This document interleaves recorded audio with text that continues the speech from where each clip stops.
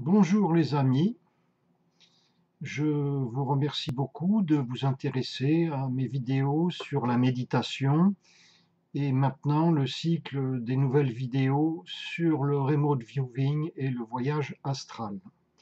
Je me permets aujourd'hui de vous faire une petite vidéo explicative, une troisième vidéo explicative sur le voyage astral en réponse à différentes questions qui m'ont été posées suite notamment à la vidéo euh, Voyage astral, protocole de base. Cette vidéo servira également de préambule à la vidéo que je vais mettre sur YouTube la semaine prochaine, aux, alentours du 1er mars 2016, sur euh, donc euh, la pratique de la miniaturisation en tant qu'entraînement voyage astral. Donc la deuxième vidéo que je vais mettre bientôt sur YouTube sur le voyage astral. Ce sera, quelques, ce sera un préambule aussi pour cette vidéo. Donc j'ai différentes questions qui m'ont été posées, notamment euh, Jean. Jean me pose deux questions. Le voyage astral est-il plus simple quand le corps est fatigué physiquement ou quand le corps est en forme. En fin de compte, en règle générale, le voyage astral est plus facile à réaliser quand le corps est en forme, quand on se sent avec de l'énergie, avec une bonne forme. Je dis bien en règle générale, ce n'est pas toujours vrai.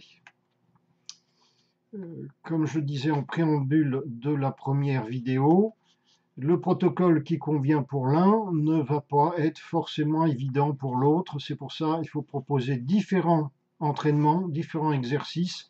Certains conviendront mieux aux uns qu'aux autres. Mais en général, on se dédouble de son corps physique, on sort plus facilement en corps astral quand on est en pleine forme. Ceci n'est pas toujours vrai par exemple, si, on est trop en pleine forme, si j'ose dire, si on est trop plein d'énergie, débordant d'énergie, vous voyez qu'on a envie de faire des activités physiques, c'est sûr qu'à ce moment-là, on, va avoir des difficultés pour se détendre, pour se relaxer profondément, et ça sera difficile, dans ce cas-là, plus difficile effectivement de sortir de son corps en corps astral, parce que on se relaxera plus difficilement. Et c'est quand même nécessaire, en règle générale, de parvenir à une relaxation très profonde pour pouvoir sortir de son corps. C'est pour ça que c'est plus facile de sortir de son corps en corps astral la nuit, puisque la nuit, on est déjà, en général, naturellement relaxé, tout du moins beaucoup plus facilement. On est entre veille et sommeil. Alors que, par exemple, au milieu d'après-midi, on, se relaxe au maximum. Déjà, si on n'est pas entre veille et sommeil, c'est un peu plus difficile. C'est pour ça qu'en règle générale, les récits de voyage astral, ce sont des récits, si j'ose dire, de personnes qui font ça durant leur sommeil. Mais un sommeil, évidemment, rendu conscient. Il arrive, il arrive qu'un épuisement physique facilite un voyage astral spontané.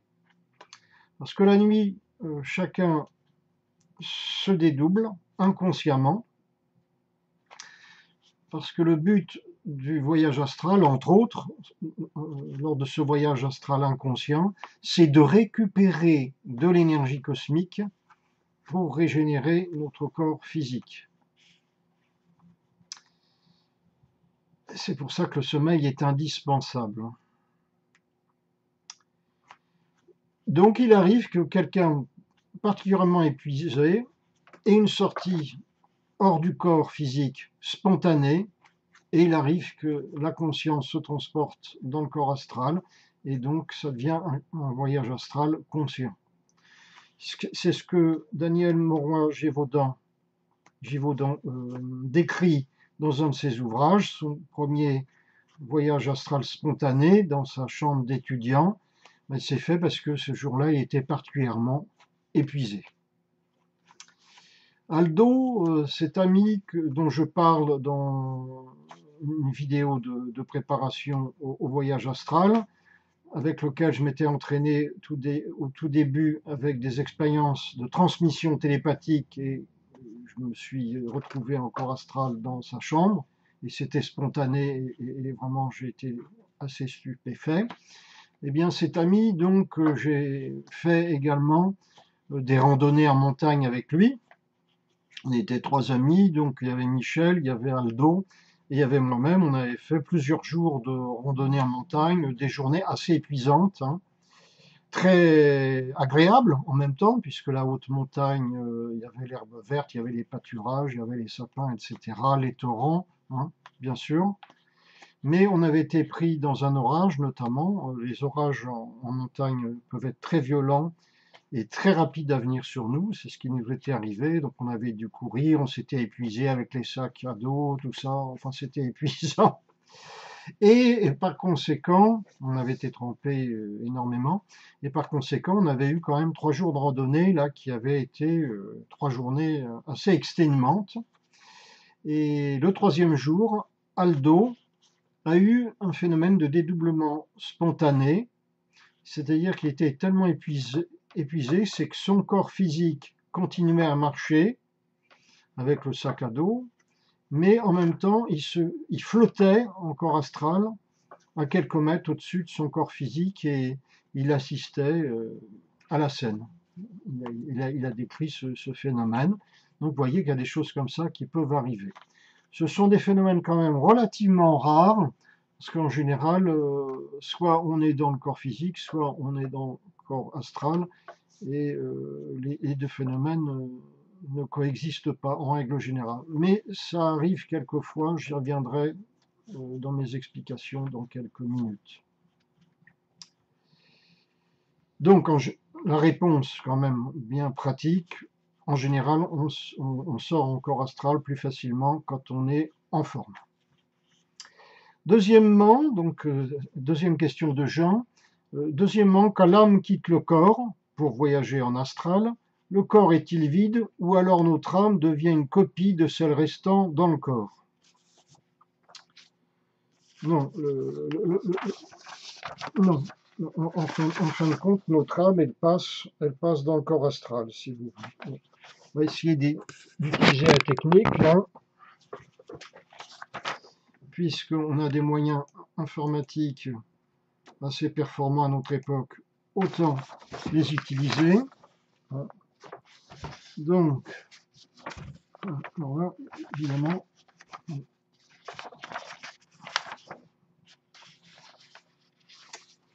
voilà, j'essaye de vous montrer le schéma.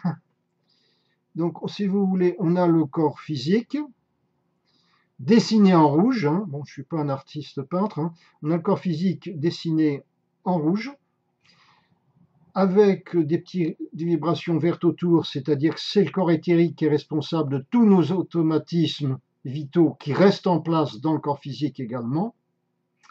Ensuite, vous avez le corps astral qui est sorti, relié par un champ vibratoire, la corde d'argent au corps physique.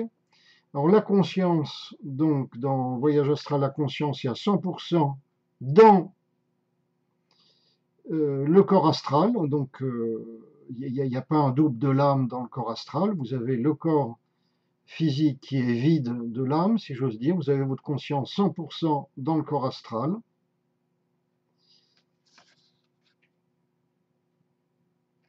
Donc, euh, c'est bien vide. D'un côté, c'est bien vide, d'un autre côté, il y a bien la conscience. Voilà, pour être précis. Ça, c'est en règle générale le dédoublement, phénomène de dédoublement complet. Alors,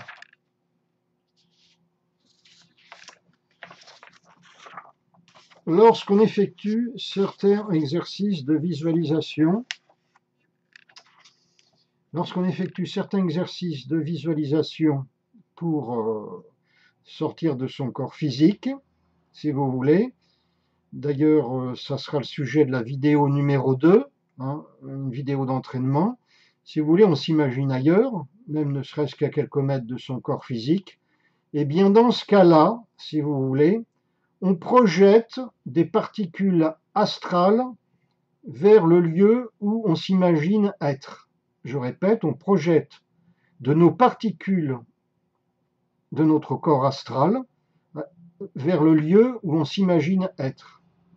Donc, il y a quelques particules astrales dans ce lieu-là. Par exemple, si vous imaginez dans une piscine, eh bien, si on avait un appareil qui permettait de voir ça ou, des clairvoyants autour, il verrait par exemple qu'il y a 10% de vos particules astrales dans la piscine et que dans votre corps physique, il reste 90% de vos particules astrales. Dans ce cas-là, votre conscience, elle est 100% dans votre corps physique. Voilà. Dans le corps physique, vous avez votre corps éthérique plus 90% de votre corps astral. Vous allez me dire, c'est bizarre, ça, 90% de mon corps astral dans le corps physique, 10% ailleurs. ça veut dire ceci, c'est qu'on ne peut pas considérer le corps astral comme un corps physique, si vous voulez. Faudrait plutôt l'imaginer un peu comme de la pâte de berlingot, que vous étirez là où vous voulez, et il peut y en avoir une partie par ici, une partie par là.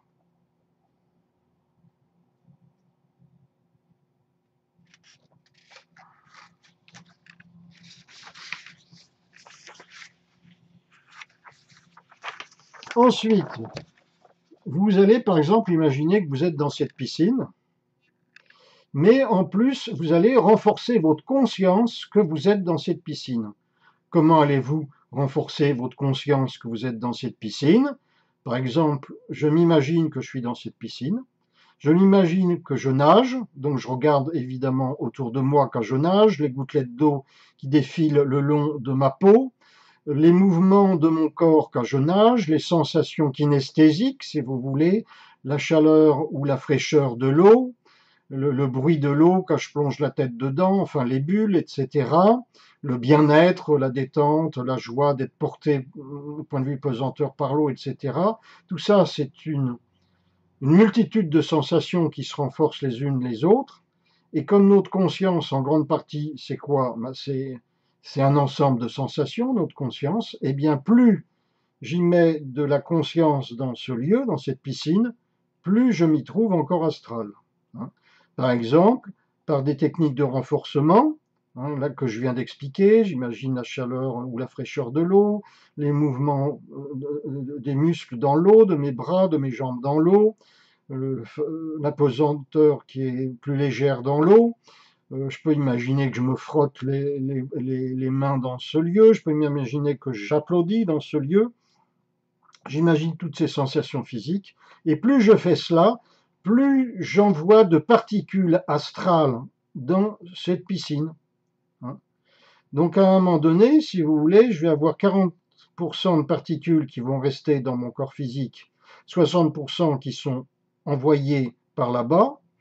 Et plus il y a de particules par là-bas dans la piscine, plus mon corps astral se crée, se condense dans ce lieu-là, et plus en conséquence ma conscience se transporte dans ce lieu-là.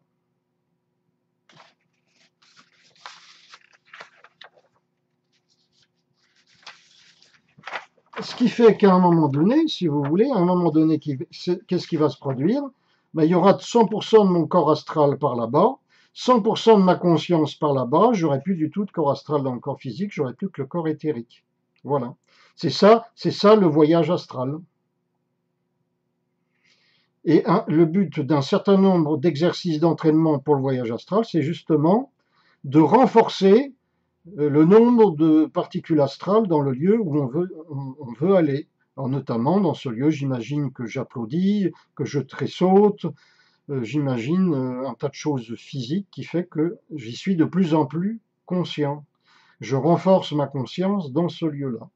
Et au bout d'un moment, ma conscience, qu'est-ce qu'elle fait? Bascule de mon corps physique vers mon corps astral dans ce lieu-là, et je me retrouve dans ce lieu-là.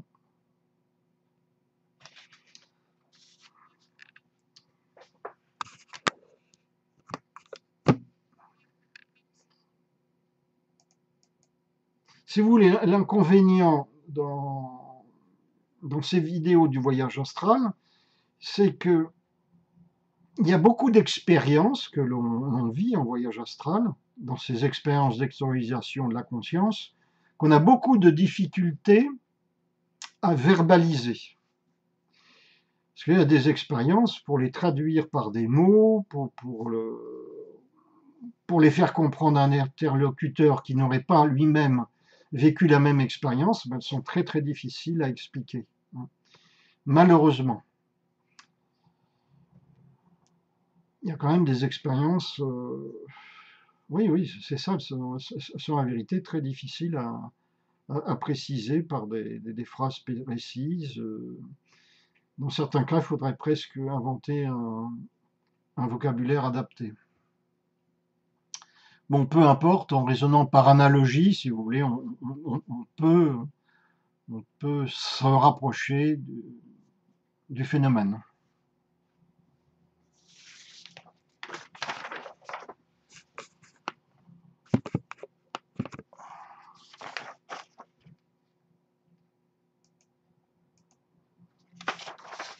Il arrive que parfois, il y a un phénomène très rare, c'est que vous vous retrouvez, bon, c'est rare, hein, ça, ça fait partie des phénomènes rares, vous vous retrouvez avec 50% de votre corps astral dans le corps physique et, 50% ailleurs, et, vous avez 100% de votre conscience dans votre corps physique et 100% dans votre corps astral ailleurs, et il n'y a que 50% de votre corps astral pourtant qui est ailleurs. Ça arrive parfois, dans certaines expériences. Chacun est un peu différent, donc chacun a tendance à vivre tel ou tel type d'expérience, mais certains phénomènes de channeling, de transmission de messages venant d'ailleurs, etc., d'autres dimensions, de, guides, etc., eh bien, certaines, pas toutes, hein, mais certaines expériences de channeling sont reliées à ce phénomène-là. C'est-à-dire que le, le channel a, a, a envoyé une partie de son corps astral ailleurs, il vit certaines expériences et en contact avec des guides, par exemple, va recevoir leurs messages et, les, reçoit euh, transmis directement par la corde d'argent à, sa conscience physique dans le corps physique. Mais ce phénomène est, quand même relativement rare. Mais je sais qu'il existe, euh, l'ayant parfois moi-même vécu, donc je sais qu'il existe, que c'est pas pas quelque chose d'illusoire.